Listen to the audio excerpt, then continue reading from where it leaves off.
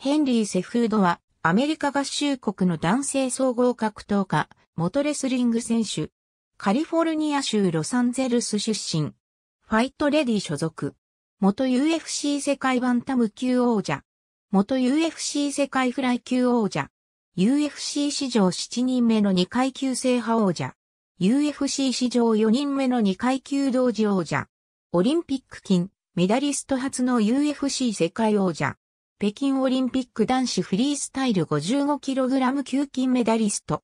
ヘンリー・セジュードとも表記される。オリンピック金メダルを獲得し、UFC でも2階級制覇を達成したことから、トリプル C とも呼ばれる。レスリング時代のセフード両親がメキシコからの不法移民の家庭に第6子としてロサンゼルスで生まれ、母子家庭で育てられた。幼い頃はサンノゼ、ラスクルーセス、フェニックスと各地を移り住みながら貧しい生活をしていた。兄の影響でレスリングを始め、高校時代はアリゾナ州で2度、コロラド州で2度州王者になり、ジュニアの世界大会でも2位になった。卒業後は大学には進学せず、コロラドスプリングスのオリンピックトレーニングセンターに招待されフリースタイルレスリングに専念した。アマチュアボクシングではアリゾナ州のゴールデングローブで優勝している。2008年北京オリンピックに出場し、男子フリースタイル 55kg 級決勝で松永智弘を破り、アメリカレスリング史上最年少となる21歳で金メダルを獲得。北京オリンピック直後の2009年に一度引退するも、二つ目の金メダル獲得を目指して2011年に現役に復帰。2012年ロンドンオリンピックは予選で敗退した。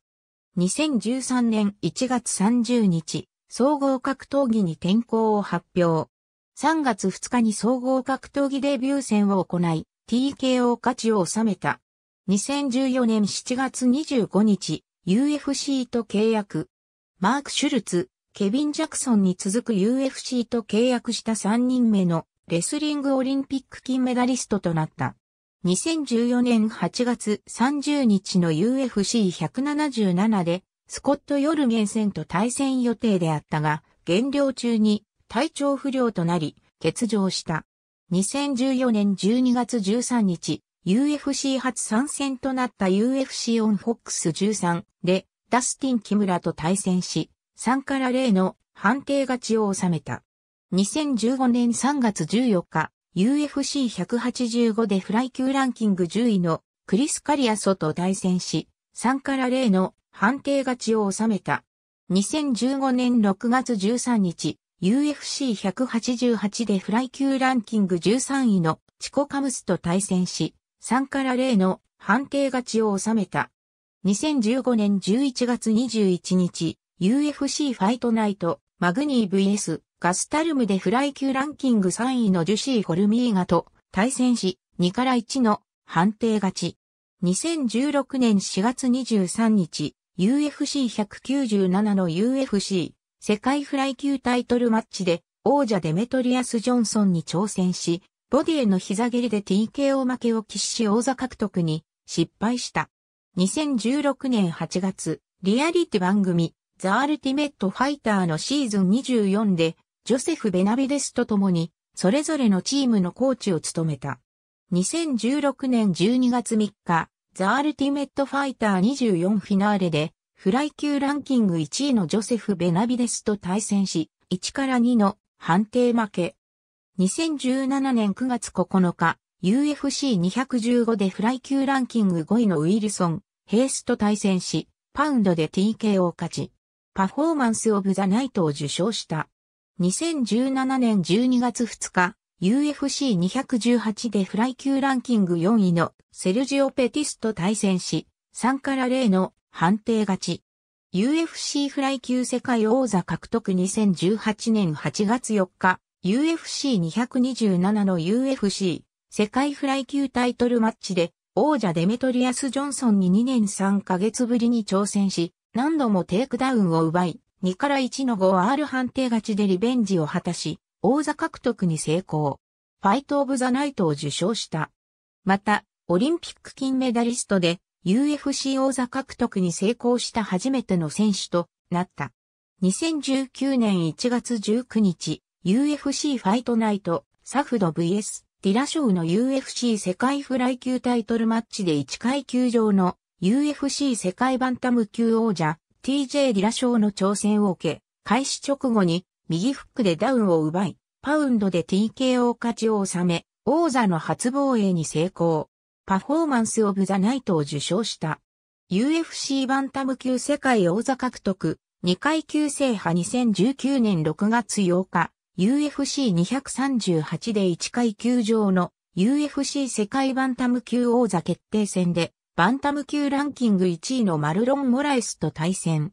序盤は打撃で劣勢に立たされるも、徐々に巻き返して 3R にパウンドで TKO 勝ちを収め、パフォーマンスオブザナイトを受賞。フライ級に続いて、バンタム級王座の獲得に成功し、ランディクートゥア、BJ ペン、コナー・マクレガー、ジョルジュ・サンピエール、ダニエル・コーミエ、アマンダ・ヌネスに続いて、UFC 史上7人目となる2階級制覇を達成した。また、2階級の王座を同時に保持したのは、コナー・マクレガー、ダニエル・コーミエ、アマンダ・ヌネスに続いて、UFC 史上4人目となった。2019年12月19日にバンタム級に専念するためフライ級王座の返上を表明。2020年2月29日の UFC ファイトナイト、ベネビデス VS フィゲレデュで正式に王座を返上した。2020年5月9日、UFC249 の UFC 世界バンタム級タイトルマッチで元 UFC 世界バンタム級王者ドミニク・クルーズと対戦し、にある終盤に右膝蹴りでダウンを奪いパウンドで TK を勝ち、王座の初防衛に成功し、試合後インタビューでは総合格闘技からの引退を示唆した。2020年5月24日、バンタム級王座を返上し現役引退を発表。オリンピック金メダリストという肩書き通り、高いテイクダウンディフェンス能力を誇る反面、テイクダウンの成功率は35%前後とあまり高くない。レスリング時代よりカウンターレスリングを得意とし、クリンチの攻防から相手を崩して倒し、上のポジションを取って、相手のスタミナを削るレスラーらしい上手さを見せる。2016年に連敗を喫してからは、トレーニングに空手を取り入れる。それにより、打撃の精度と威力が向上し、連敗を喫する以前は UFC での4勝すべてが判定勝利であったが、連敗後は6勝のうち4勝が TKO 勝利と戦績面でも打撃力の向上が伺える。ありがとうございます。